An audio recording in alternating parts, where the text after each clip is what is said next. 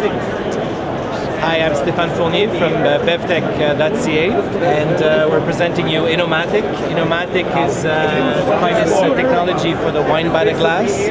Wine by the glass, uh, high-end wine by the glass. So the idea of these machines is to preserve the wine 20 to 60 days and serve it at optimal temperature.